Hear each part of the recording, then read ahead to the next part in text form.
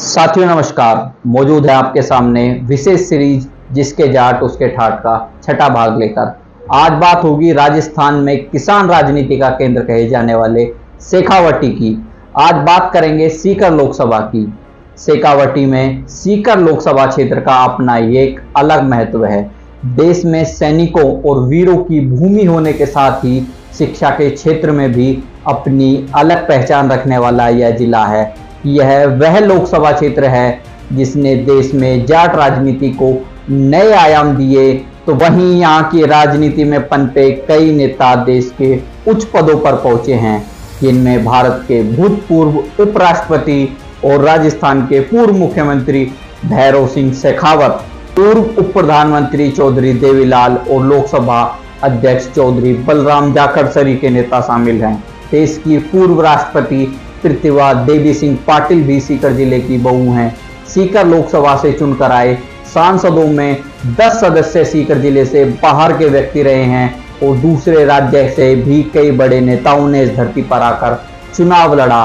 1999 की सीकर रैली में ही प्रधानमंत्री अटल बिहारी वाजपेयी ने राजस्थान में जाटों के आरक्षण की घोषणा की थी और लंबे समय से कांग्रेस का एक पारंपरिक वोट बैंक माने जा रहे जाट समाज को अपने पाले में खींचने में सफल रहे। देश के बड़े व्यवसायियों में सुमार बजाज गोइंका और बिड़ला परिवार भी सीकर से ही संबंध रखते हैं। वीरता की बात की जाए तो प्रथम विश्व युद्ध में शेखावटी क्षेत्र से कुल चौदह हज़ार से अधिक किसान इस युद्ध में शामिल हुए, जिसमें 200 से अधिक वीर जवानों ने वीर गति को प्राप्त किया और देश के लिए मर मिटे। तो वहीं सीकर ज़िले में समय समय पर अपनी समस्याओं के लिए यहाँ के किसानों का विद्रोही से राजस्थान में किसान राजनीति का केंद्र बताता है। आज़ादी से पूर्व सन 1935 में बढ़े हुए लगान के विरुद्ध हुए सीकर किसान आंदोलन में यहाँ के जाट किसानों की वीरता की गूंज पूरे देश में सुनाई देती है, जिसे राजस्थान के पाठ्यक्रम में भी शामिल किया गया है।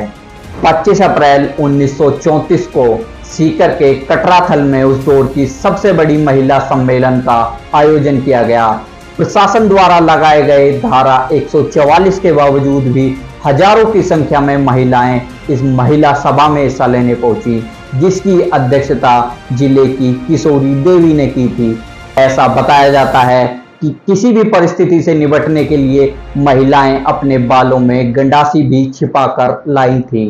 25 अप्रैल 1935 को गाँव कुंदन में लगान लेने आए दस्ते को यहाँ की एक वृद्ध महिला धापी देवी ने लगान देने से मना कर दिया। उसके बाद हुए संघर्ष में यहाँ चार किसानों की शहादत हुई तो वहीं 175 से ज़्यादा किसानों की गिरफ्तारी हुई।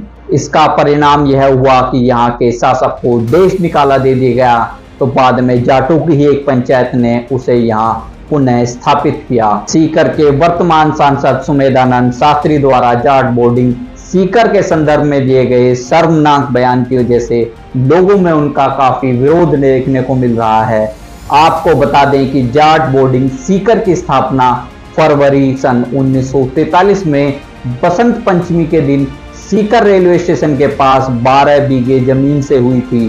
शुरुआत में यहाँ सिर्फ़ 15 कमरे और दो रसोई के साथ किसान मसीहा सर छोटू राम ने जाट पोस्टल का उद्घाटन किया था। चौधरी हरि सिंह बुर्डक और चौधरी ईश्वर सिंह भामू की इस कार्य में महत्वपूर्ण भूमिका रही।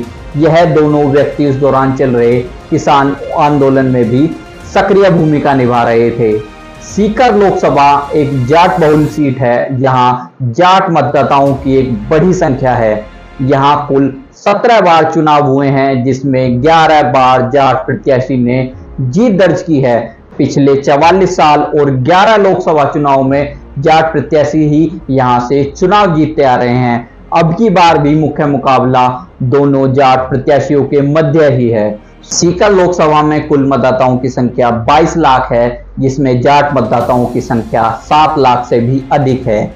यहाँ पौने दो लाख राजपूत ढाई लाख मुस्लिम, एक लाख ब्राह्मण और चार लाख दलित मतदाता भी इस सीट पर शामिल हैं। आपको बता दें, नेहरा, पूनिया, मील खिचड़ लानिया रणवा मूंड, महरिया, काजल इत्यादि जाट समाज के मुख्य गोत्र सीकर ज़िले में हैं। इन गोत्र के जाटों की संख्या सीकर ज़िले में अच्छी तादाद में है। सीकर लोकसभा क्षेत्र में आठ विधानसभा क्षेत्र शामिल हैं, जिसमें सीकर ज़िले की सात विधानसभा धोद सीकर दाता रामगढ़ खंडेला नीम का थाना श्री माधोपुर व एक विधानसभा, चोमू, जयपुर ज़िले से सम्मिलित की जाती है। सीकर लोकसभा सीट पर सन उन्नीस सौ बावन में राम राज्य परिषद के नंदलाल शर्मा ने बजाज इंडस्ट्री के कमल नैन बजाज को हराकर पहली बार यहाँ से जीत दर्ज की। तो दूसरे चुनाव में उन्नीस सौ सत्तावन और तीसरे चुनाव उन्नीस सौ बासठ के चुनाव में भारतीय राष्ट्रीय कांग्रेस के रामेश्वर टाटिया ने लगातार यहाँ से दो बार जीत दर्ज की। उन्नीस सौ सड़सठ के चुनाव में भारतीय जनसंघ के गोपाल साबू ने यहाँ से जीत दर्ज कर सांसद बने तो साल 1971 के चुनाव में भारतीय राष्ट्रीय कांग्रेस के श्री कृष्ण मोदी ने यहाँ से जीत दर्ज की। इमरजेंसी के बाद हुए साल 1977 के चुनाव में जनता पार्टी के जगदीश प्रसाद माथुर ने यहाँ से एक तरफा मुकाबले में शानदार जीत दर्ज की। फिर आया साल 1980 जब जाट बाहुल्य सीट पर पहली बार जाट प्रत्याशी की जीत हुई। 1980 के चुनाव में जनता पार्टी सेकुलर से लड़ रहे किसानों के बड़े नेता चौधरी कुंभाराम आर्य जी ने भारतीय राष्ट्रीय कांग्रेस के प्रत्याशी श्री कृष्ण मोदी को चौंतीस वोट के बड़े अंतर से यहाँ पर शिकस्त दी और पहले जाट सांसद के रूप में सीकर से चुने गए उन्नीस सौ चौरासी में प्रधानमंत्री इंदिरा गांधी जी की हत्या के बाद पंजाब में माहौल सही नहीं था तो पंजाब में लोकसभा के चुनाव भी नहीं हुए। तो उस समय के लोकसभा के अध्यक्ष और फिरोजपुर से वर्तमान सांसद रहे चौधरी बलराम जाखड़ ने उन्नीस सौ चौरासी का चुनाव राजस्थान के सीकर से आकर लड़ा। पार्टी की तरफ़ से तर्क दिया गया कि एक तो उनकी जड़ें राजस्थान में हैं दूसरा सीकर एक जाट बाहुल्य क्षेत्र है और उनसे बेहतर दूसरा कोई उम्मीदवार नहीं हो सकता।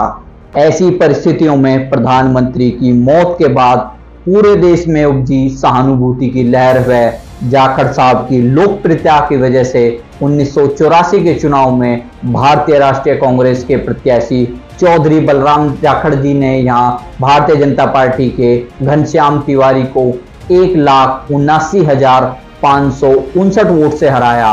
साल उन्नीस सौ नवासी में सीकर की यह सीट, हॉट सीट बनकर उभरी। साल उन्नीस में नौवीं लोकसभा चुनाव में संयुक्त मोर्चे के प्रधानमंत्री पद के उम्मीदवार चौधरी देवीलाल और लोकसभा के अध्यक्ष चौधरी बलराम जाखड़ के राजस्थान के सीकर संसदीय क्षेत्र में चुनाव मैदान में उतरने से ही यह सीट सबसे ज़्यादा चर्चित रही।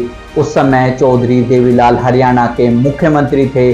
तो चौधरी बलराम जाखड़ लोकसभा के अध्यक्ष थे। इन दोनों दिग्गज जाट नेताओं के बीच चुनावी मुकाबला होने से यह चुनाव सबसे ज़्यादा चर्चित बन गया था। दोनों नेता रिश्ते में रिश्तेदार थे और चुनाव परिणाम में जीजा की हार हुई और उन्हें हराने वाले रिश्तेदार चौधरी देवीलाल देश के उप प्रधानमंत्री बने। इस चुनाव में चौधरी बलराम जाखड़ ने कांग्रेस के प्रत्याशी तो वहीं चौधरी देवीलाल ने जनता दल के प्रत्याशी के रूप में यह चुनाव लड़ा। चौधरी देवीलाल संयुक्त मोर्चे के प्रधानमंत्री पद के उम्मीदवार थे। उस दौरान चौधरी देवीलाल के पक्ष में प्रचार प्रसार करने के लिए अटल बिहारी वाजपेयी भी सीकर आए और चौधरी देवीलाल के लिए जमकर वोट मांगे।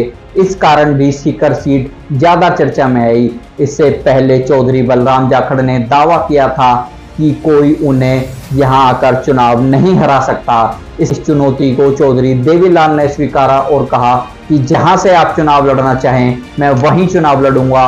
और सीकर से चाहें तो सीकर या फिर फिरोजपुर से चाहें तो वहाँ भी चुनाव लड़ूँगा और हराऊँगा। वह उनके सामने चुनाव लड़ने के लिए सीकर आए।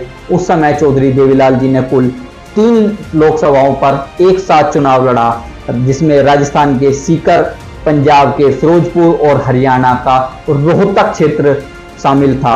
सीकर में चौधरी देवीलाल जी ने चौधरी बलराम जाखड़ को छियालीस हज़ार सात सौ छप्पन वोट से हराया और रोहतक में उन्होंने चौधरी हरिद्वारी लाल को शिकस्त दी। तो वहीं फिरोजपुर में वह निर्दलीय प्रत्याशी ध्यान सिंह से चुनाव हार गए। फिरोजपुर में चौधरी देवीलाल तीसरे स्थान पर रहे। ऐसा बताया जाता है कि फिरोजपुर में किसानों में उनके प्रति दीवानगी इस कदर थी कि हेलीपैड पर इतनी भीड़ जमा हो गई कि चौधरी देवीलाल का हेलीकॉप्टर नहीं उतर सका। उस समय चौधरी देवीलाल जी के लिए एक नारा मशहूर हुआ था, ताऊ पूरा तोलेगा, लाल किले पर बोलेगा। हालाँकि बाद में ताऊ के नाम से विख्यात हुए चौधरी देवीलाल ने लाल किले से बोलने से इनकार कर दिया और उन्होंने प्रधानमंत्री पद लेने से भी मना कर दिया। उस स्थिति में वीपी सिंह देश के प्रधानमंत्री बने तो वहीं चौधरी देवीलाल देश के उप प्रधानमंत्री की कुर्सी पर आसीन हुए।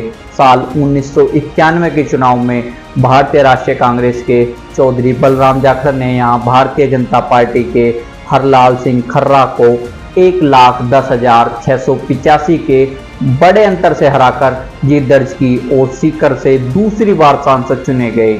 उन्नीस सौ छियानवे में भारतीय राष्ट्रीय कांग्रेस पार्टी के चौधरी हरि सिंह ने यहाँ भारतीय जनता पार्टी के प्रत्याशी चौधरी सुभाष सिंह महरिया को अड़तीस हज़ार नौ वोट से हराकर शानदार जीत दर्ज की। उसके बाद हुए साल उन्नीस सौ अट्ठानवे के चुनाव में भारतीय जनता पार्टी के प्रत्याशी चौधरी सुभाष महरिया ने यहाँ कांग्रेस के मौजूदा सांसद चौधरी हरि सिंह जी को इकतालीस वोट के बड़े अंतर से हराया।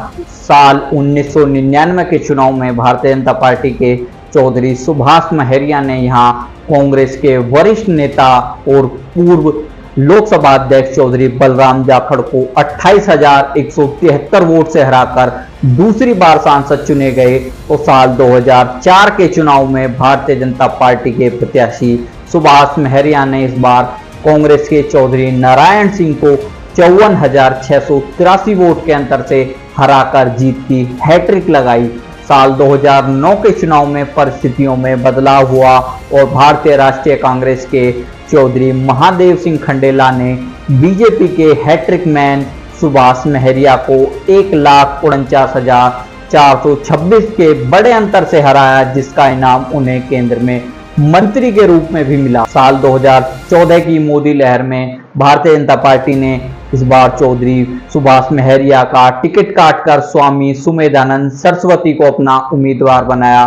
तो कांग्रेस ने चौधरी प्रताप सिंह जाट को उम्मीदवार चुना। ऐसी परिस्थितियों में चौधरी सुभाष मेहरिया ने बागी होकर चुनाव लड़ा और कुल एक लाख अट्ठासी हज़ार आठ सौ इकतालीस वोट हासिल किए और तीसरे स्थान पर रहे। भारतीय जनता पार्टी के सुमेधानंद सरस्वती ने यहाँ कांग्रेस के प्रताप सिंह जाट को दो लाख चौंतीस हज़ार एक सौ छियानवे के बहुत ही बड़े अंतर से चुनाव हरा दिया और शानदार जीत दर्ज की। साल 2019 के लोकसभा चुनाव में चौधरी सुभाष महरिया ने कांग्रेस का दामन थाम लिया और कांग्रेस के प्रत्याशी के तौर पर चुनाव लड़ा। भारतीय जनता पार्टी के प्रत्याशी सुमेधानंद सरस्वती ने कांग्रेस के सुभाष महरिया को दो लाख सत्तानवे हज़ार एक सौ छप्पन के बड़े अंतर से हराकर जीत दर्ज की और दूसरी बार सीकर लोकसभा से सांसद चुने गए। कुल मिलाकर सीकर लोकसभा पर हुए 17 चुनाव में 11 बार जाट समाज के प्रत्याशी ने ही जीत दर्ज की और 1980 के बाद से अब तक लगभग 44 साल से जाट सांसद ही सीकर लोकसभा से चुना जाता है। और इस बार भी जो मुख्य मुकाबला है, वो दो जाट प्रत्याशियों के बीच है। यहाँ भाजपा ने अपने दो बार के मौजूदा सांसद स्वामी सुमेधानंद सरस्वती पर भरोसा जताया है। तो वहीं इंडिया गठबंधन में यह सीट कांग्रेस ने लेफ़्ट विंग पार्टी सीपीएम के लिए छोड़ी है। और सीपीएम ने यहाँ प्रत्याशी बनाया है, कामरेड अमरा राम को। अमरा राम मूल रूप से सीकर के मूलवाड़ा गाँव के रहने वाले हैं। उन्होंने अपने राजनीतिक जीवन की शुरुआत सन उन्नीस में सीकर के एसके कॉलेज में अध्यक्ष का चुनाव जीतकर की। साल उन्नीस सौ तिरासी में अपनी ग्राम पंचायत मूंडवाड़ा के वह सरपंच रहे। साल साल उन्नीस सौ उन्नीस और 2003 में बौद्ध विधानसभा क्षेत्र से विधायक रहे। साल 2008 में उन्होंने सीकर की दातारामगढ़ सीट से विधानसभा का चुनाव लड़ा और जीते। आपको बता दें कि कामरेड अमरा राम सीकर लोकसभा से लगातार छह चुनाव लड़ चुके हैं। अमरा राम किसानों और जनता से जुड़े मुद्दों से लगातार आंदोलन में सक्रिय रहे हैं। 2017 में किसानों द्वारा 11 सूत्रीय मांगों को लेकर एक बड़ा आंदोलन राजस्थान में हुआ, जिसका नेतृत्व भी अमरा राम ने किया संघर्ष के प्रतीक कामरेड। अमरा राम के बारे में किसी और वीडियो में विस्तार से चर्चा करेंगे, लेकिन फ़िलहाल बात 2024 के चुनाव की। दोनों ही पार्टियों ने अपने प्रत्याशी घोषित कर दिए हैं और दोनों ही प्रत्याशियों के बीच कड़ा संघर्ष देखने को इस बार मिलने वाला है। इसी बीच बीजेपी प्रत्याशी द्वारा सीकर जाट बोर्डिंग के लिए गई टिप्पणी से जाट समाज में रोष है। वीडियो में बीजेपी प्रत्याशी को कहते हुए सुना जाता है, कितने बदमाश गुंडे पैदा हुए हैं उनका उत्पादन फैक्ट्री जाट बोर्डिंग है, संस्कार विहीन जितने लोग पैदा हुए हैं उसका सारा उत्पादन यहीं से हुआ है। वीडियो वायरल होने के बाद जाट बोर्डिंग हाउस के संस्थान ने प्रेस वार्ता कर मौजूदा सांसद सुमेधानंद सरस्वती के इस बयान की कड़ी निंदा की। जाट बोर्डिंग हाउस के संस्थान के जॉइंट सेक्रेटरी ओमकार मल ने प्रेस वार्ता करते हुए कहा कि सांसद सुमेधानंद सरस्वती ने जो जाट बोर्डिंग को लेकर टिप्पणी की है, उसकी संस्थान कड़े शब्दों में निंदा करता है सुमेधानंद सरस्वती के जाट बोर्डिंग के प्रति इस विवादित बयान पर जाट बोर्डिंग संस्थान ने आपत्ति जताई है। यह संस्था पूर्णतः गैर राजनीतिक संस्था है। इस संस्था से निकले हज़ारों लड़के विभिन्न सेक्टरों में कार्यरत हैं। और हमारा भी ऐसा मानना है कि आपसी राजनीति में समाज के शिक्षण संस्थानों को बीच में लाना समाज हित में नहीं है। नेताओं को इन सब चीज़ों से बचना चाहिए। आपको क्या लगता है कौन बनेगा 2024 में सीकर का प्रधान? क्या स्वामी सुमेधानंद जीत की हैट्रिक लगा पाएँगे? या फिर लाल लाल लहराएगा और अमरा दिल्ली जाएगा। नीचे कमेंट बॉक्स में अपनी राय ज़रूर दर्ज करें। वीडियो अच्छा लगे तो लाइक करें शेयर करें। जाट समाज से जुड़ी ऐसी वीडियोस के लिए जुड़े रहें हमारे चैनल जाट्स यूनाइटेड के साथ।